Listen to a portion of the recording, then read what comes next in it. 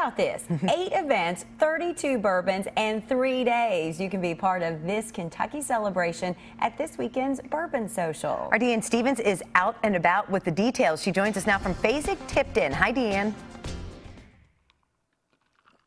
Good afternoon, guys. What kind of reporter would I be if I didn't make sure that this tasted good for you? It's part of the Bourbon Social, the signature cocktail. We had to check things out. Greg Baldia is with us uh, from Jim Beam, putting this fabulous event on. We've got we're cooking up another signature cocktail. But first, tell folks what that was that I just tasted. That is the spiced apple pie cocktail. That's going to be the signature cocktail at one of our Keeneland events. It's a Jim Beam, apple cider, a spice mix, and a few different fun bitters. Okay, and it's fun to kind of mix things up. You don't just have to put bourbon on the rocks, right? Absolutely not. And that's what you guys are doing this weekend. You're kind of teaching them a little bit about bourbon and what you can mix it up with. Yeah, we can drink like grown-ups. You know, why not?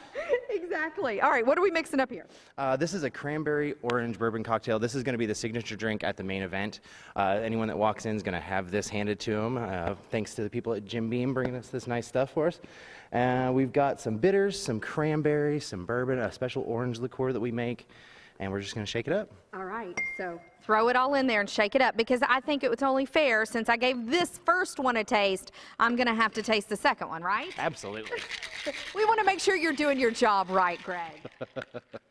is that key? Is shaking it up in that? Oh, what Yeah. are you adding? This is cranberry juice.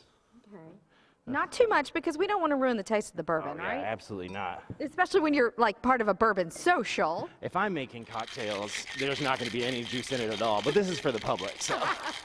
All right, part of the Bourbon Social. that's going on uh, this weekend, kicking things off at Keeneland tomorrow night. Main event here at Fasig-Tipton. Right before we taste that, Christina from Makenna Foundation, part of the proceeds going to you guys. Yes, so the Makenna Foundation is partnering with Bourbon Social on this for the proceeds. So every ticket you buy comes back to us, and we're kind of helping the children at the Kentucky Children's Hospital. Tickets are still available, Kayla. And tell us about the Bourbon Social, how folks can get tickets. So the bourbonsocial.com in advance. Tickets are still available for the seminar series and the main event. Everything else is sold out. Um, or you can get them at the door. And this isn't just a big drink fest. We want to we want to make sure people that know that you're actually educating folks on bourbon and all things Kentucky. Absolutely. We have people coming from across the country to teach and taste and explain and explore. We've got something for the bourbon enthusiast and the newcomer alike. Uh, we've got the big brands, the little brands, the new ones, the old ones, uh, a little bit of everything. So it'll be a good time. It sounds like a good time. All right. Speaking of a good time, let's just taste it to make sure. Mm, that's very, and I love the mint. I love the mint. You can, you don't have to wait for a mint julep to use that. Absolutely not. You can be using all sorts of stuff.